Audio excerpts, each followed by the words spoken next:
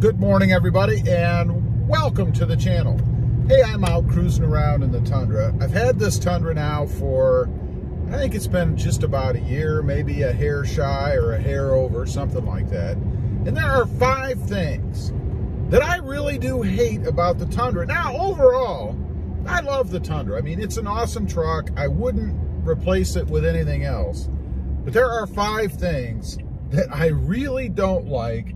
And particularly today. For some reason, you know, I wasn't really planning on shooting a video today, uh, but I was out cruising around and these things really bothered me. So I thought I'd get on here and talk about them. And the first one, you know, right now today it is uh, 77 degrees outside. Not very humid, kind of overcast. So it's a perfect day to have the driver's side or all the windows down, you know, let the air blow through here, air the truck out a little bit. And I, I thought, you know, gee, I'd like to have the rear window open, but it's not powered.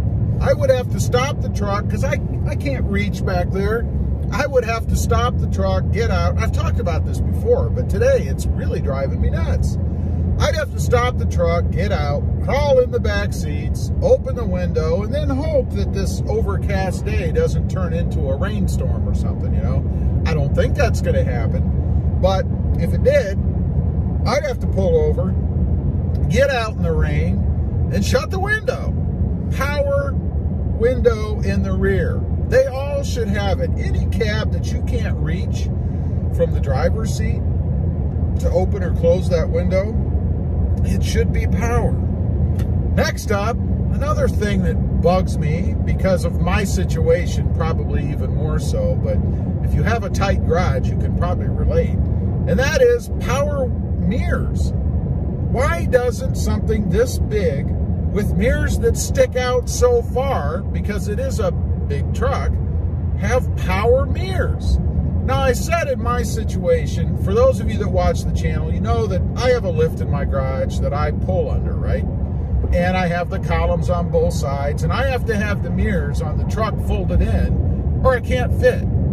So every time I go in or out, I have to either get out and walk around the truck and, you know, put the passenger side out after I back out, or put the window down and put the driver's side out after I back the truck out, and then vice versa when I get back home, right? Because I'm going to park the truck in the garage.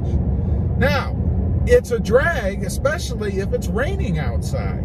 You know, I mean, you're outside, right? Again, the weather. If you're outside and it's pouring down rain, you got to run around the truck, pull all the mirrors out. And I know this is a first world problem. I mean, I understand that. But still, why wouldn't a truck this big have power mirrors? It should be standard, you know? And I think it's not even, you know, really just my situation. I mean, if, if you live in a house that has a rather tight garage, um, I'm assuming you have to do something with your mirrors as well. And I know what happens out there because I saw a post recently of a fella that um, his wife was complaining, right? Because he was pulling too close to her. So he tried to pull over further, and when he did, he clipped his mirror. Not a good thing, right? So now he has to screw with that. Next up, the thing that nobody wants to talk about, but everybody does, and I'm going to talk about it again, only because I was just at the gas station. It seems like I was just at the gas station two days ago, right? To fill up the truck. I mean, I drive this truck on a daily basis now while I'm waiting on my 2020 Tacoma to come in. And it burns gas. Now, I knew that when I got it, right? I knew it was horrible on gas. But since I'm talking about five things that I hate, maybe to help somebody else out there who's considering, you know, picking up a truck, this isn't necessarily just the Tundra. I mean, they all get pretty crappy gas mileage. Some better, um, probably none worse. But it would have been nice if the Tundra got just a little bit better gas mileage. Now, supposedly they're going to fix this on the next version. Mine, in case you didn't know, is a is a 2019. So the 2021 is supposed to be the remodel, the redesign, the super duper hyper miling Tundra that's coming out. I call it that. Rumor has it's going to get, you know, 20 or rather over 30 miles per gallon. We'll see. I don't know. Now, of course, that'll change a little bit once I uh, once I get my Tundra and start splitting the driving duties. But for now, the gas mileage, it just really sucks. Next up, and a lot of these have to do with power. You, you may see a theme here. Uh, power tailgate. Why doesn't this truck come with a power locking tailgate? I'm not talking about power up and down. I think that's crazy. You know, some trucks have a button you can push and it will raise and lower the tailgate. Pretty slick, I must admit, but, you know, not a big deal for me. But it should at least have a power locking tailgate. You know, and that should be tied to the key, to the key fob. In other words, when you lock your truck, it should automatically lock the power, or the, the tailgate rather.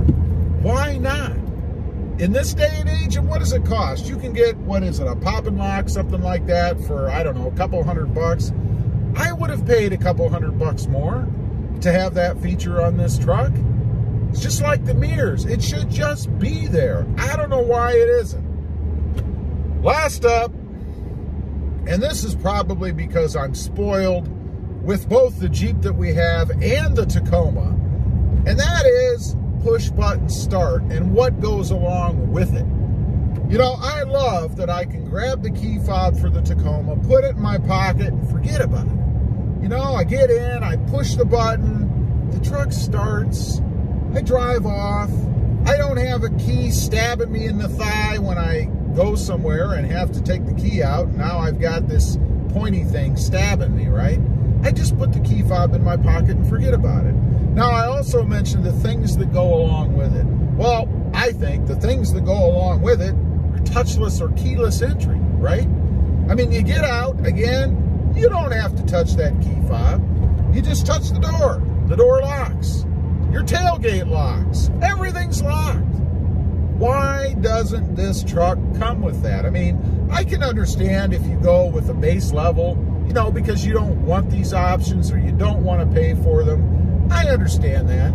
But it should be an option at, the very least at this trim level. I mean, this is an SR5. It's an SR5 double cab. I realize it's not a top of the line Platinum or 1794.